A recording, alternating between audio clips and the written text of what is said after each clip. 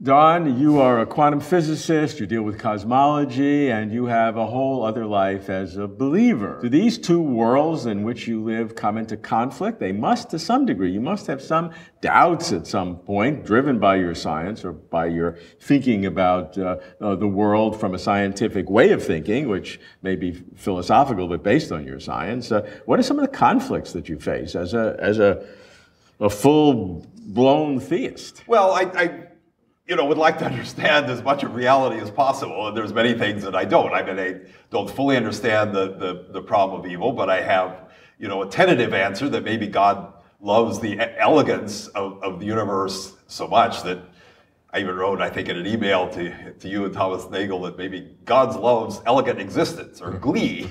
and that might possibly ex explain why our universe has so much elegance, even though it, it does have a certain amount of suffering and evil in it. But there is an objection, which partly I thought of, and then the philosopher Thomas uh, Nagel or Nagel, I forget mm. how it's pronounced, uh, raised that, well, you know, doesn't can't God choose what he finds valuable? Couldn't God choose what he what he wants? And so this does raise the question is that if I think the world is the best possible, well, this is of course relevant to uh, relative to the nature of God and so on. But how? Why is it that there aren't so why is it the case that God and all other conscious creatures are just supremely happy all the time? It at least seems logically possible that we could, everybody could be just supremely happy all, all of the time, and maybe you wouldn't even need a universe or, or God to have an elegant universe. So there's, there's a bit of a question when, I, when I'm trying to explain the, the, the existence of, of God as making the universe the best possible, there is a point that I can't explain, which is why God has the nature he has. When you talk about God's nature, that brings up uh, some issues. You believe God is all good. That means there's a lot of things God can't do, and God has restrictions. So maybe right. God is not free, and God doesn't have freedom. Now that seems to contradict the the uh, the independent sovereignty of God. Well, it is in a sense. I think God is free to do what He wills, but there is the question of whether God's free to will what He wills. I mean, I think in one sense he he he he does he does will what's the best. But now I'm asking the question is what is. Then he's not free. Then he's constrained totally in some uh, uh, arbitrary calculus to determine what's best. And uh, God has no choice, and he has to do. Well, it. you could view it that way, but if you do, I think if you do what's the best, I mean, you could say. I mean, people have traditionally argued that if so, that if a being is free, and if, if God knows everything and knows what's the best, he will do what's the best. So I mean, you know, you might say in that sense he choose his choice to do the best. I mean, you could say, well, he couldn't have done otherwise because then he wouldn't have done. It. But then you just say he's not doing his choice. So I mean, in some sense, you could say whatever his choice is, you, you could say, well, and in some sense, that was determined. I mean, it's it's determined by God. So it's a little bit I mean, as to whether God's okay. you know has this constraint or not. What in your scientific career has has caused you to wonder, even for a few seconds, about does this affect my total belief in God? I suppose the fact that I do know a, a, quite a lot of intelligent people that don't believe in God. So I, I, you know, I do know that my arguments for the existence of God are, are certainly not proofs. They're not. They're, they're making assumptions that maybe other people wouldn't have used. In fact, have you ever convinced one of your scientific friends who don't believe in God through your arguments that now do believe in God? I'm not sure. I, I, mean, I have had I've had had a couple of fellow students that that I helped lead to Christ, but not, i think they probably believed in God, but just weren't really following. Yeah, I'm not. Yeah, I'm not really sure that I have.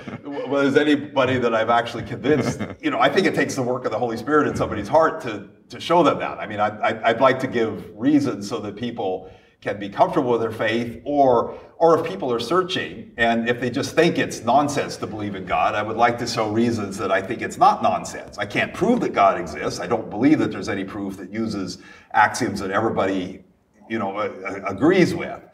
But I, I do think it's a quite reasonable faith. I'm not 100% certain about it, but I'm pretty, you know, i have got a very high confidence that, that, that, that, that God exists, and, and I'm putting my you know, putting my life on the line and trying to follow what, what Jesus says. Oh, well, I fail and I sin and I, you know, I do things that are that are wrong. I don't always do what I what I believe is right. I believe I should do what what helps other people the most, but a lot of times I'm selfish and do what benefits me more than than others. Okay, I mean that, that that's quite normal. Uh, I'd be I'd be shocked if that were not the case. Uh, but uh, through your scientific career, there must have been moments when something you thought about or did through your science uh, caused you to just doubt for a little bit.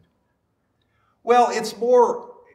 I mean, I've I certainly had doubts, and I, I, I, think the the afterlife awareness problem that I don't have time to recount right now it, it was one that gave me some doubts, at least about some elements of Christian theology. I, I've more or less come to peace with that. I think if I come to more doubts, it's it's it may be over more issues that you know i wish there were more direct evidence about for example the resurrection i mean i think the evidence is quite high that the, the, the disciples believed they had seen jesus alive and most of them were put to death for their faith, for which this was central. So I, I, think if they didn't really believe it, they wouldn't have persisted to the death in this. And it seems to be the most natural uh, explanation for this belief that, that they actually saw Jesus resurrected, is Jesus was resurrected. But of course, it is a very remarkable claim. And so, you know, I, I can sometimes have doubts it, because this is something so extraordinary. Of course, it's it's it's it quite admitted to be extraordinary. It's it's essential it's a central tenet of the Christian faith, and it's recognized to be a complete miracle by God. So I, am not expecting it to have a natural explanation, but it is so remarkable that you know sometimes I will have doubts about it. So I'll have doubts about it that, about things that maybe arise from from from historical or or that sort of things, or the problem of evil, and usually that's more than from things that come from from science. I think this afterlife awareness thing, which is really more from the philosophical thing of John Leslie and, and Brandon Carter than science.